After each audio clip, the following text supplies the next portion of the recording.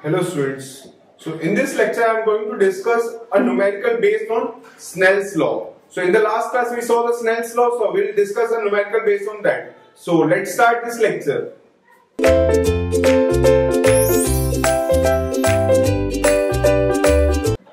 So I have written a numerical just read out a light ray incident on a glass air to glass interface with an angle of 30 degree means a light ray is incident on air to glass interface. So this is air, this is glass.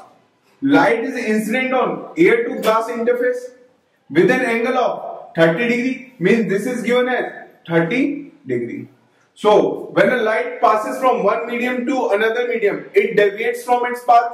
So what is the refractive index? If the glass refractive index is given as 1.5 then find the angle refractive angle or the refract angle of refraction we have to find. This is our normal. And this is incident ray so angle between incident ray and normal is called angle of incident which is given as 30 degree. Now what is the refractive index of air? So refractive index is defined as the ratio of speed of light in air to the speed of light in that medium. So that medium, if that medium is air, what is the value of refractive index? That is equal to 1. So refractive index of air is equal to 1. So now two, if this is air, this is glass, this has a this medium has a refractive index of 1, this medium has a refractive index of 1.5. So, which one is denser medium? The medium which has high value of refractive index is called denser medium. So, this is denser medium, this is rarer medium. So, when light passes from rare to denser, it bends towards the normal. It will not pass straight. It will bend towards the norm, normal because this is the denser medium. So, we have to find only the angle of refraction. See, so we have to find this angle. Now this angle can be found out using Snell's law. So according to Snell's law, mu1 sine i that is equal to mu2 sine r where i is called angle of incidence and this r is called angle of refraction. Mu2 is the refractive index of medium 2, mu1 is the refractive index of medium 1. So in this example, medium 1, I am calling this as a medium 1 and this is medium 2.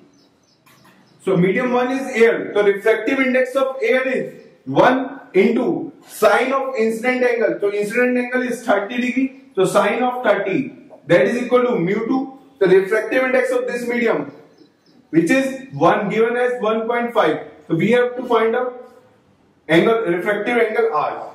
So if we calculate this part sine 30 is equal to 1 by 2 and 1.5 can be written as 3 by 2 that is equal to sine of r. So 2 2 get cancelled sine r is equal to me 1 by 3 so refractive angle is equal to sine inverse of 1 by 3. So if you calculate this value that will come out to be 19.47 degree.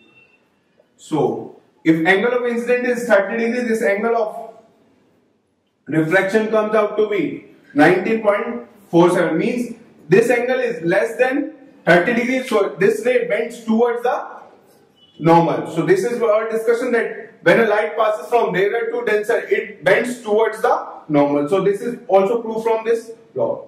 So thank you so much